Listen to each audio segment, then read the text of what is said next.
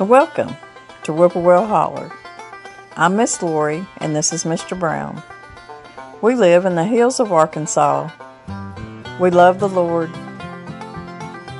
Keepers of the old way, but accept some of the new. We love to cook, and we love to eat. We love to garden. It's in our blood. It's how we stay sustainable and fill our pantry. We do a lot of canning and preserving. We live a sustainable life. We love our family. We work hard. And every once in a while, we like to dance. So, y'all join us. Okay, I am fixing to put on a dish of green beans. And I thought I'm going to bring y'all with me because I really think that some of y'all will really like this recipe for these green beans. This is for your holiday table. This is not your green bean casserole or, you know, just some throw together green beans in a, in a pot with a little bit of seasoning. This is called Arkansas green beans. We've got some really good cooks here in Arkansas.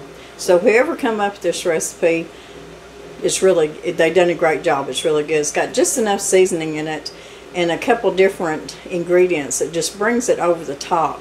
Some of y'all may have already ate these green beans before and really love them but uh, some of y'all probably haven't.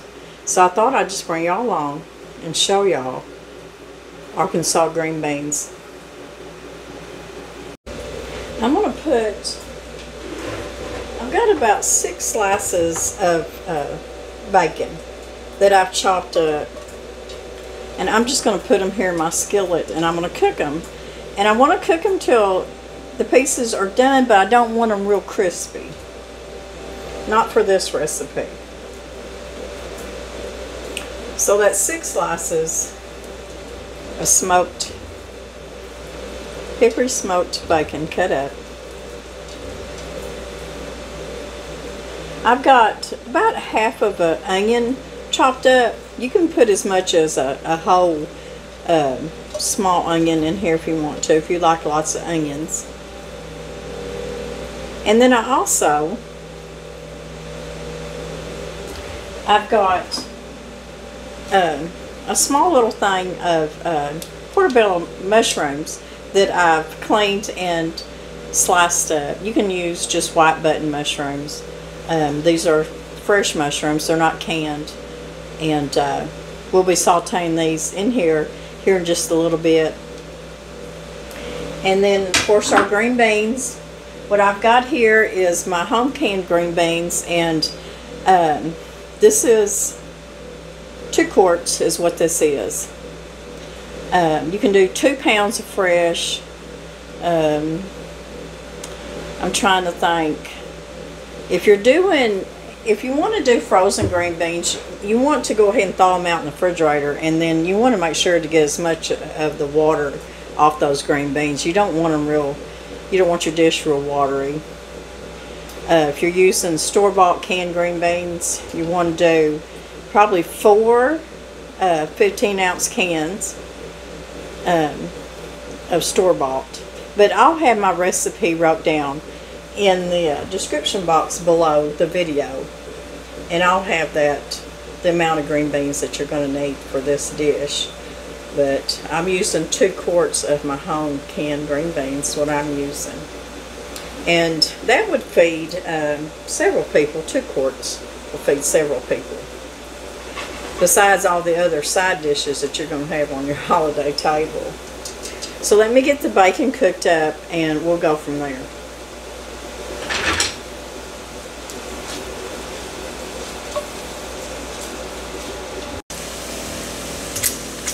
Okay, our bacon is, it's getting there. So what I'm going to do at this point before the bacon gets totally cooked, because this is going to be going in the oven too, is I'm going to put up my diced, it's about a half of a diced onion.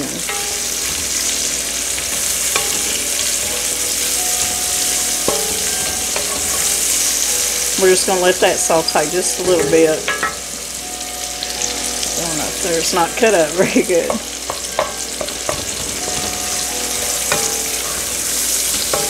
So before the bacon got done, I put my onion in here. And let that saute.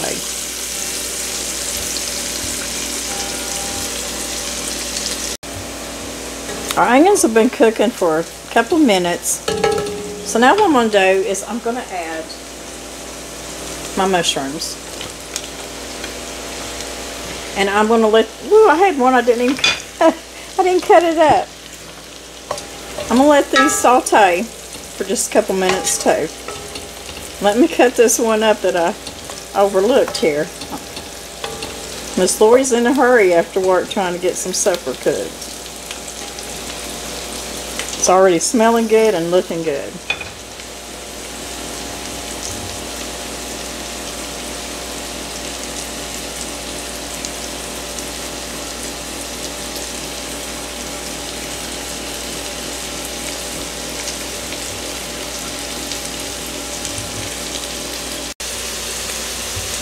Okay, our mushrooms have been cooking for a couple minutes too.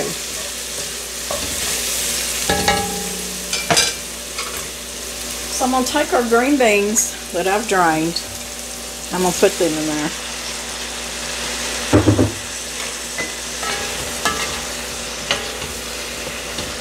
I'm just going to stir all this together.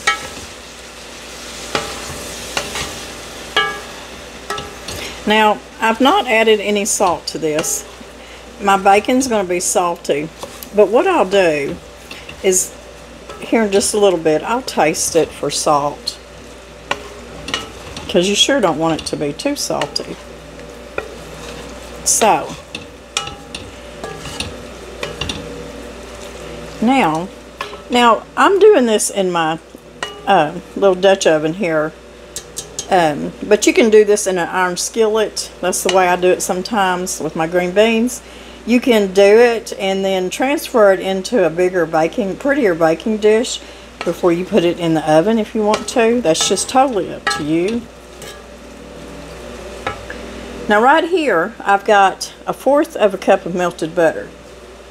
And what I'm going to do is I'm going to add a fourth of a cup of brown sugar to that.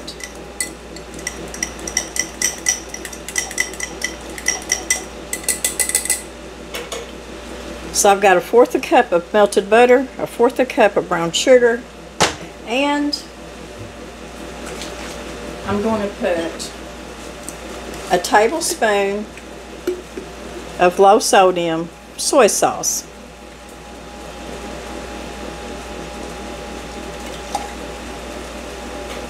And then I'm going to put about a half a teaspoon of garlic powder.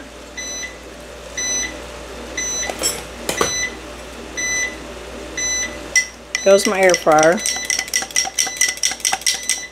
I'm cooking chicken legs, y'all, in the air fryer. You talk about good.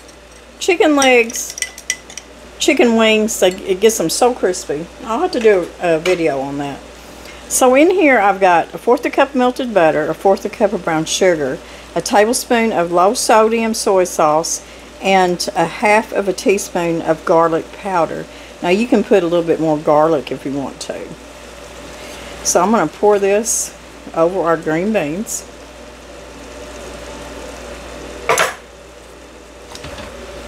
And I'm going to give this a good stir.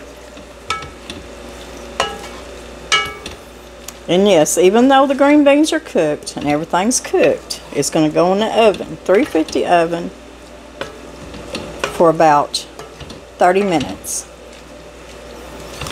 These green beans are cooked and cooked to death. And to me, that is the best green beans.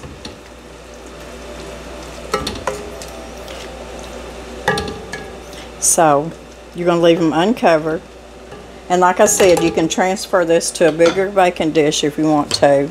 I'm going to sprinkle just a little bit of black pepper over the top.